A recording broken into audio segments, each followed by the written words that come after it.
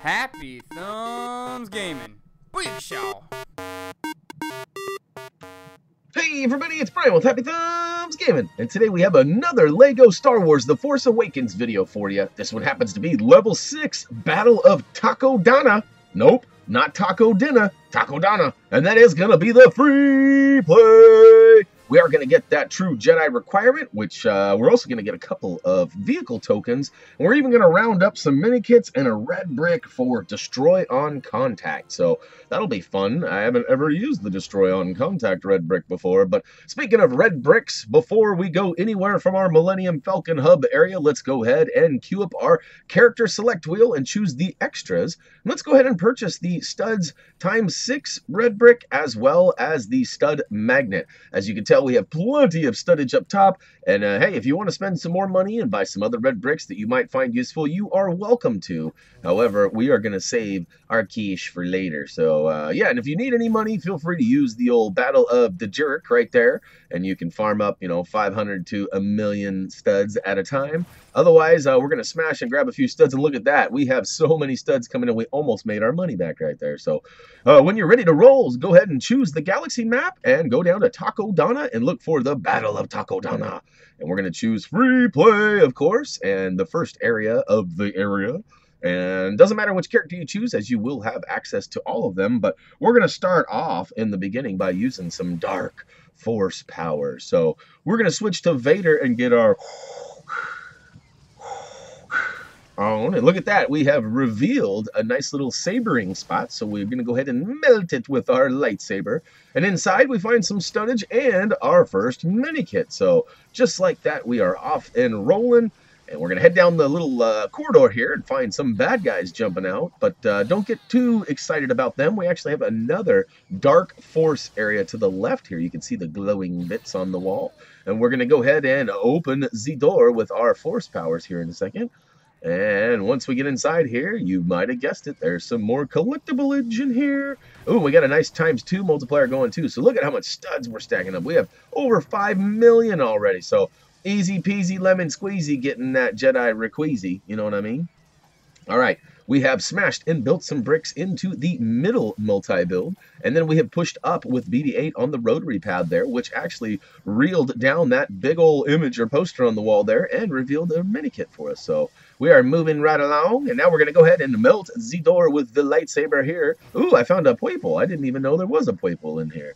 But uh, yeah, that attract studs is a great help, especially uh, when you're trying to collect them. So we are at a point where we probably have more money than we know what to do with.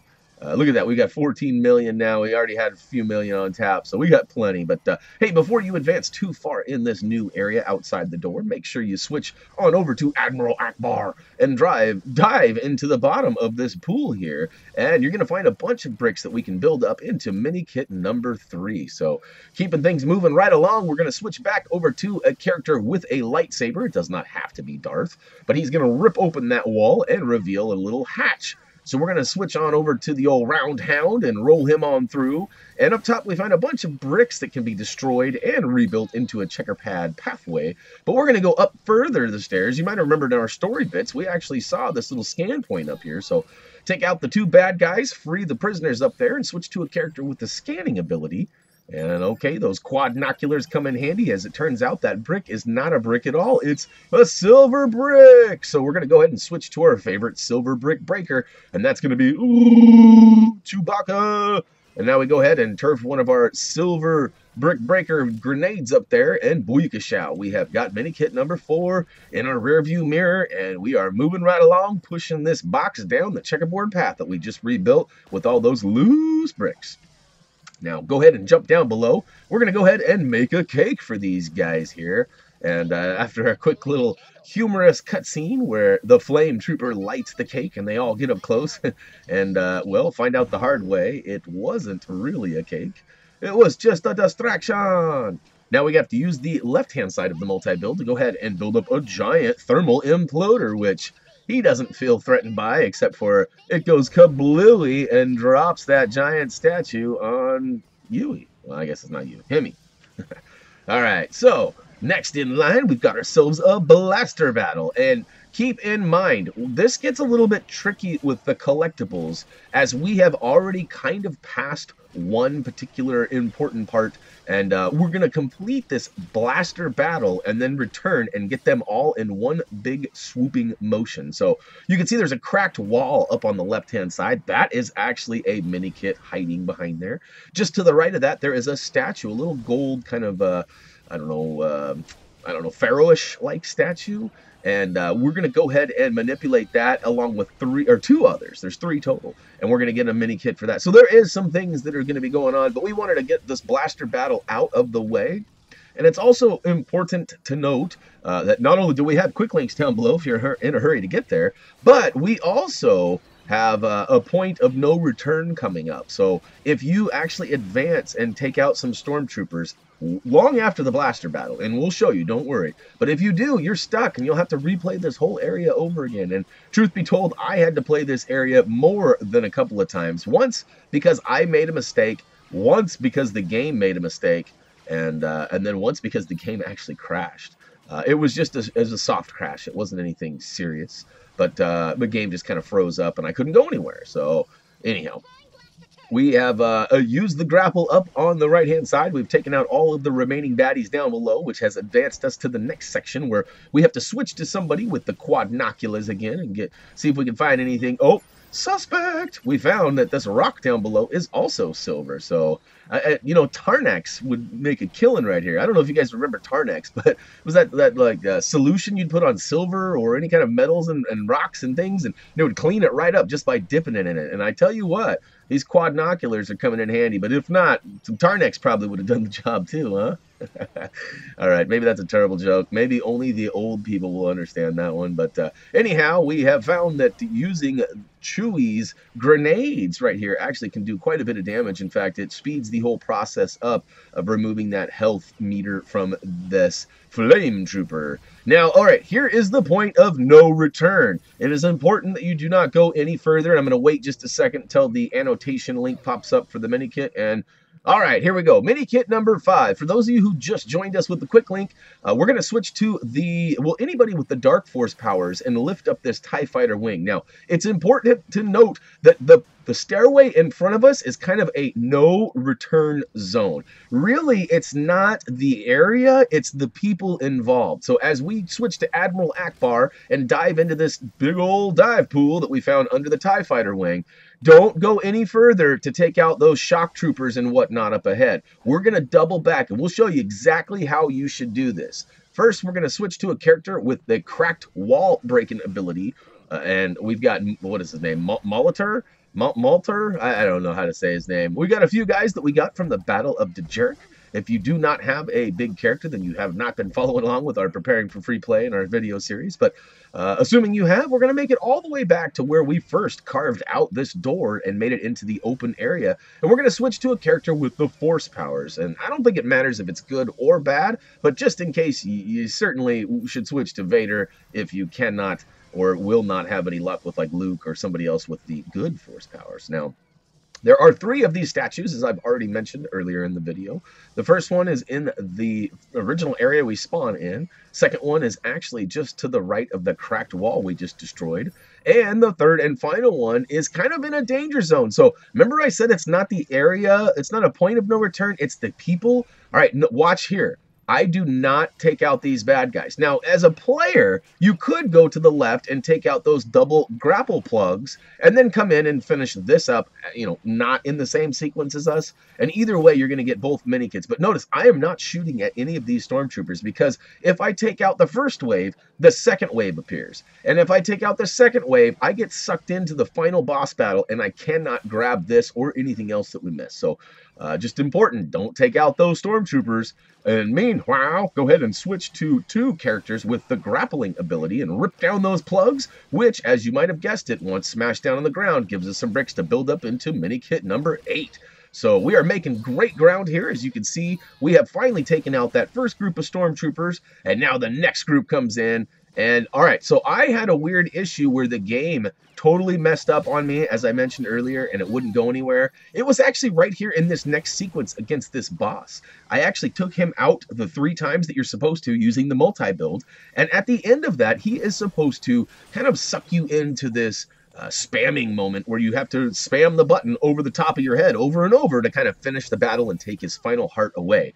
Now, in this particular case, for me, it did not work. It automatically switched me back to Finn, and then it did not suck me in and take me into that battle sequence. So uh, no matter what I did, I couldn't do it. I switched characters. It switched him to Finn too. So I had no choice but to play as both characters as Finn, but yet it wouldn't let me advance. So uh, I switched to Finn on my own the second time around, and it did not seem to have a problem at all with it. So I don't know if that's helpful to you. I guess if you run into a situation where you are stuck and it will not let you uh, take the final hearts off, and you'll see what I'm talking about here in a minute. But if you run into that, you might try switching to Finn on your second playthrough before you get to this area. And, and in that case, you might switch both characters to Finn too. Otherwise, just go ahead and continue to smash and rebuild these multi-build bricks into the three different shapes. And, you know, he chases you around. I, am pretty sure you can avoid his attacks, but I, I've found it just simpler to just get get busted up. it goes quicker. He doesn't chase you around for five minutes each time. And uh, he knocks you down, and oh well, you lose a few hearts and a few studs. What's that going to really do for long term? Not a whole lot. So, all right, third and final multi build. He gets he gets sucked up onto that magnetic shocker there, and here we go. This is the point. For whatever reason, the game on my first playthrough did not take me through here. So uh, yes, now we're going to go ahead and spam these buttons and quickly it takes us right on into the next sequence. So of course, you know, we've removed all of the cutscenes and we find ourselves flying the Millennium Falcon over this giant lake. And you probably remember there were a whole bunch of stud rings with buoys below them. There's actually four of them. So you can see I've got three of four. I've just flown around in a circle in the middle of the area and got the ninth mini kit. Ooh, that was pretty easy, huh? Now, it's important to note that you don't want to take out the TIE fighters before taking out those buoys to make things a little easier for you. Now, once you take out these TIE fighters, it does advance us. It is the rule of three. There are three sections of flying. So the first one is the 15 TIE fighters. The second one is we have to take out these special ships that are coming in for a landing. And then the third one is we have to take out ships trying to take out our escape ship. So um, there's kind of a sequence. So the first sec section, I highly recommend not taking out the 15 ties and getting those four buoys, just getting that mini kit out of the way. Now here we go. We've just completed that first section and we're moving to the second part. Now during this cutscene, there's some craziness that happens and it actually takes out this giant rock and watch what ha happens when it falls. Ready? Wait. Oh, look at that. It's a red brick. So before you take out any of these 10 ships, I highly suggest going in and getting that. Wait, Swing and a miss. All right. Oh, okay. Uh, maybe third time's the charm. Hey, eh, maybe it's the rule of three for me too. Yay! All right. Red brick destroy on contact is officially ours now, and we can go ahead and move on to the next phase by taking out the remaining ships here.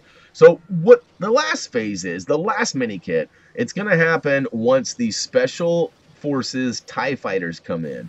They are the TIE fighters that have the proton torpedoes floating behind them. So as I take out all these ships and my aim is not so good, uh, ooh, look at that. I even got piled right in the, in the Kissa. And uh, we're going to respawn. But basically, it's pretty simple. All you got to do is just follow the red markers and take out all of the ships that are marked. In this particular case, there are two waves of five, and I'm having a hard time with this first wave. As you can see, I'm terrible at that ground aim maybe I shouldn't have chose the Millennium Falcon. Maybe, I mean, I love flying it. Don't get me wrong. But maybe it's not the easiest one to fly. Maybe an X-Wing or something would have been better. And I'm pretty sure I could tap the triangle button or Y button, depending on your platform, and it would switch us to another vehicle. But I, I don't know. I didn't do that. So, all right, second wave of five for the second wave of baddies here. And all right, we're having a little better luck here. We're trying not to get taken out again because that was embarrassing.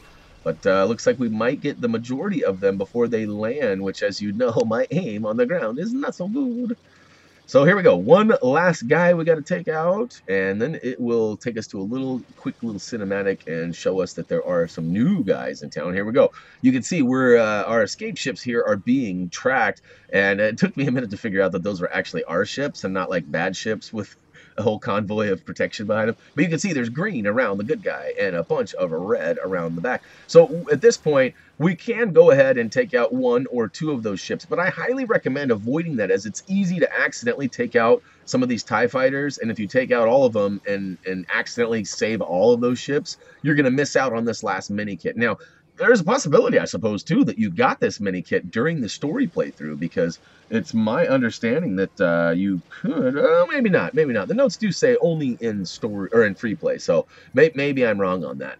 But uh, all right, so here we go. We found our first proton torpedo floating around, we got a tie right on our Tookus there. So we'll go ahead and do a flip. And once you have the proton torpedoes, you just have to simply target these three silver satellites. There are two on one side and one on the opposite side. So we got the onesie. Now we just got to head on the opposite side and go for the twosie. So I'm actually looking for another proton torpedo because I want to nail them both in one last little final approach here. And luckily for me, I end up, well, missing that. Oh, no, I do have two. All right, so I do launch them both away, and I do get taken out, but I grab that mini kit. I got the proton torpedo away just in time. And luckily for me, there was only like five or six ships left in order to get those three check marks, which, as you might have guessed, will take us into the final totals because we've removed that final cutscene. So look at me, I'm taking wrong guy, wrong, same team, man, same team. All right, look for those red markers as indicated on the side of your map there. If you're not going the right way, the arrows will point you in the right direction. Take all of them out and booyah! Check marks aplenty, and that's going to wrap it up for Battle of Takodana Free Play. And yes, we had plenty of studdage to get that true Jedi requirement. In fact, look how many studs we have. We have over 50 million. I think we started this with like six, eight, no, eight million. It was like eight and a half million. We did pick up that red brick for the, what is it? The Destroy on Contact. That's right. That's the one that I've never used before. I'll have to activate that at some point. I try not to activate those during gameplay because not everybody has those or have spent the money to get those. So uh, I try to keep it simple and clean. Ooh, couple of vehicle tokens for Kylo Ren's escape ship. Was that what it said? I, I, I only read the, the, beginning part of it. A little quick look at our totals there. And uh, that being said, we're going to go ahead and wrap it up for LEGO Star Wars The Force Awakens Level 6 Battle of Takodana Free Play.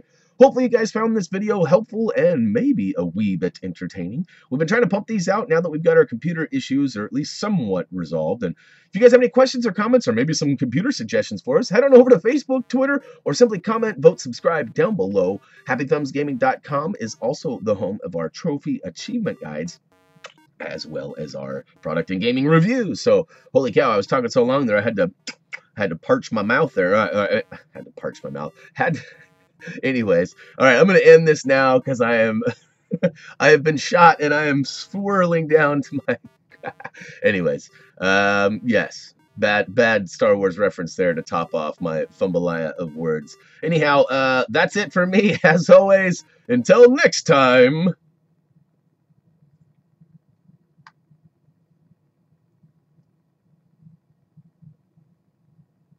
They're all gonna laugh at you.